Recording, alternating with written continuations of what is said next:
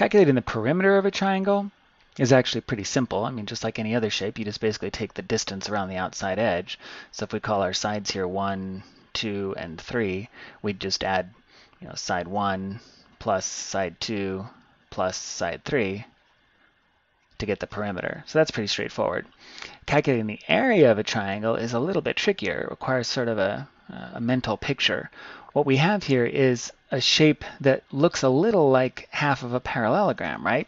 In fact, if we were to sort of duplicate this triangle, let's put a red one on here, and then take that duplicate and, oops, did that wrong. Take that duplicate like this, there we go, and rotate it around like this, and slide it over, putting it on so that one side is shared with the original triangle. Now we have a parallelogram, right? But what I've done then is take the area of the original triangle here and double it by making another equally uh, equal size triangle over here. So the area of this figure is exactly twice the area of the original triangle.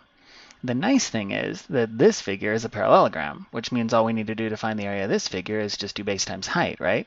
So for the new figure here, the parallelogram area, we just do base times height. But if we did that, we'd have the area of this new big figure.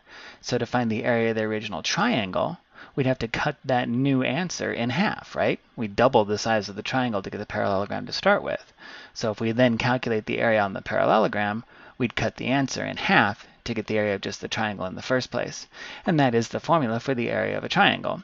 The area of a triangle is base, oops, let's do a better B, shall we? Base times height, so just like a parallelogram, but then we divide the answer by 2. Sometimes you'll see it as 1 half base times height, but it's the same thing, base times height divided by 2, or 1 half of base times height. And that's exactly because this little idea here works with every triangle.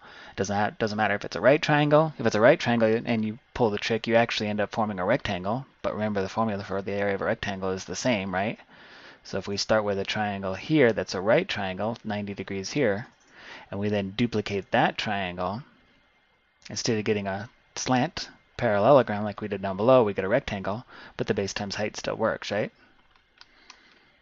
Height So the perimeter of a triangle is just add up the three sides, and the area of a triangle is base times height divided by 2. So let's play around with that a little bit with our example questions.